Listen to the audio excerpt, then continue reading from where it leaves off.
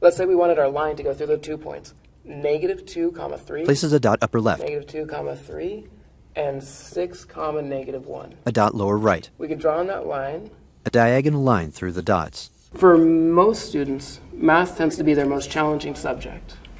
Now imagine you're trying to learn this without being able to see what's on the board or read what's in the book. The screen becomes black. Imagine you can't visually see the slope of the line. You can't see the shape of a trapezoid or a triangle. How would you grasp those concepts? A student writes in a notebook. What would you need? What other resources would you need to make use of to comprehend those ideas? Kaela Parks, Nationally, director. educational institutions, community colleges are all struggling with how to make mathematical or technical information accessible to individuals who experience disability. Disability Services. And we can't wait for others to solve these problems for us, so we're digging in. Sue Quast. In 2011, the Distance Learning Department here at Portland Community College instituted new web accessibility guidelines for all of our new online classes. We base those standards on internationally accepted web content accessibility guidelines. Distance Learning Project Manager. However, we are discovering that some math accessibility solutions are not as simple as following the guidelines. There were many unanswered questions, which led the Distance Learning Department and math departments to fund two faculty, two math faculty, release time to study math accessibility. a black lab. Angel Chesame. As a student who is blind and um, taking math courses at um, university or college level, um, it's very difficult because it's very visual. I In a classroom. feel at a disadvantage. I feel that I actually have to work 10 times harder than your average student and um, take 10 times as much time as everyone else to actually gather everything together and be able to study and, you know, do what is expected in the course. Scott Levitt, It's something I've always wondered about. How do you make mathematics, math instructor. which is so symbolically and visually based, accessible to somebody, for example, who can't see? Project Mentor. And so just that curiosity of, so what can we do, really got me interested in the project. Chris Hughes. We want everything to be accessible, including mathematics. We would try and get everything into MathML. Math instructor. uh, because we believed that that was the most accessible format because it could work with a screen reader. Project Mentor. So we were trying to get desperately for the first three weeks of the project, try and get everything into MathML. And then thankfully, um, we met Maurice because he quickly told us that that's not going to be necessarily the answer because something that we thought was the answer was actually not the answer. The value that he added to it is just immeasurable. It, without him, the project would not have been as successful as it was. It would not have would not have been what it was. We, Chris and I, working on our own, thought we were headed down one path that you know screen readers, and that was the ultimate way to go. That would work for everybody. And then after meeting with Maurice once or twice, it was evident, you know, just from talking with him that we were so off track. Not that it's not a good way to go, but that's not the solution for everyone. And so without Maurice, our results would have been completely different.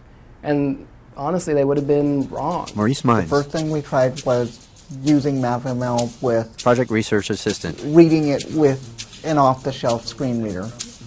The screen reader could read it, but not all of it, and not well enough to give a good representation of what was on the screen. You have blind people who are good auditory learners, and blind people who are good tactical and or reading learners.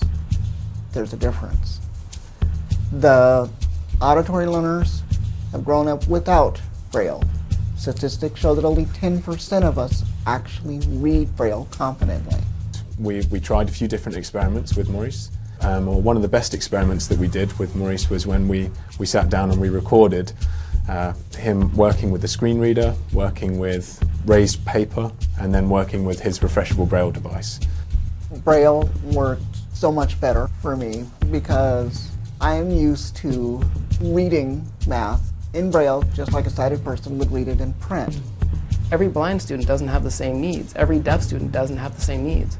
And for some reason, I don't know why it hadn't clicked before the project, But just working with Maurice, for some reason, that became so much more concrete. In a classroom, So each student is a unique learner, and they have their own constellation of areas in which they excel and areas in which they struggle. Some individuals are very savvy with technology, and others may need some support and assistance. So it's important for us to recognize that whether a student is engaged in a distance learning class, a hybrid class, or a face to face class, there are going to be varying levels of intervention that could be appropriate. If the instructor was prepared ahead of time and had all their um, materials and information ready to go, and then would work with me in trying to get all any type of visual information in a form that I can um, I can I can understand, which would be either audible or tactile. Yeah, it really comes down to the rule of four. The rule of four is something that, as a mathematics faculty, we're very familiar with. And the rule of four says that when you're presenting a concept or an idea, you talk about it in as many of four different ways as you can, which is verbally, graphically, numerically, and algebraically. When you're working with a blind student, then uh, typically that blind student may be able to access the verbal part of the rule of four. That's not a problem. But the other three parts of the rule of four can present um, difficulties that need to be accommodated. Portland Community College is committed to universal design. We have many efforts ongoing to try and ensure we have fewer barriers for students whenever possible. The work of the math department is great because the rule of four is really a specific example of how universal design can be deployed in a discipline specific way. So we came into the project thinking there was just one answer, which was MathML with JAWS, the screen reader, and we've definitely left the project knowing that there is no one answer, but there are some best practices that we as faculty can adopt. In our collaboration, we discovered that one of the most important best practices for math accessibility and online learning is a meeting with the student, the instructor, disability services, and distance learning to identify the student's individual needs. It could be held online, in person, video conference, or telephone. expecting every blind person to be the same and to do things in the same way is is not realistic. That's like that's like saying every student does things in the same way. It's just not it doesn't happen that way. And so for the school and instructors to be willing to work with individual students on their level and what they need is um, is essential to their you know success as a student. These problems are difficult and they can't be solved by any one area alone. So, the way that our faculty members engaged with distance learning and with disability services and with end users themselves very directly is a model that shows great promise and that could be replicated. I would say the biggest obstacle that I have is other people's attitudes. Um, other people's assumptions, other people's uh, incorrect um, information about what it is to be blind or to have a disability.